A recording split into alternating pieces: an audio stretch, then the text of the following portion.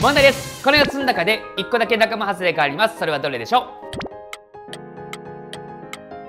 う？正解は1番の work これ全部難しい単語だよね。実際に出た入試問題なんだけども意味は知らなくても答えは導き出せるかもしれない。今回は OO の発音を聞かれてます。O っていうのは基本的にこの2つ。うかううがメインだね。例えば pool room でもうって伸ばさない発音のやつも結構あって book look took cook これ全部 K で終わってない？そう。OOK というスペルはうって伸ばさない音になりがちなの。これをしてると最初の問題も work すぐに正解できたかもね。ちなみに伸ばさない発音が全部 K がつくわけではなくて foot good wood wool hood とかもあるからね。特に今の wool と hood は結構出るから発音問題が入試に出る人はチェックしとった方がいいよ。それから最後に超超例外として blood 血 flood 洪水この2個だけはって発音するから要注意。